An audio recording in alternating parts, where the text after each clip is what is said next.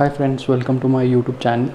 Today I will show you how to uh, download games which are actually not released but available on early access on Play Store.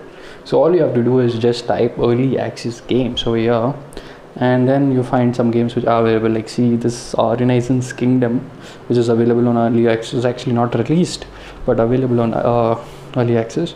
So uh, the point of this game uh, early access games are that uh, the developers release the game on early access and people who want can download these games and also provide feedback to them saying that what is missing in the game what uh, bugs are there which can be fixed. So that these bugs can be fixed and later when the game is released uh, these bugs are not present in the game. Also if you want you can download other things like early access apps. So applications also will be available on early access.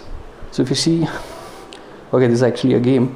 But see uh, there is a uh, early access app called cool machines. So this is like like an app it's not a game i guess. So so okay so this also paid apps gone free. So this is also a beta version. It's not like a full app here. So uh, like this i even search for launches if you see this launch is also available on early access. So you can just try it out. This is what i actually do like to see something which is not available for everyone but uh, available for some people. So uh, you will not find such games on the homepage of the play store whenever you open it but you will have to search for it like this.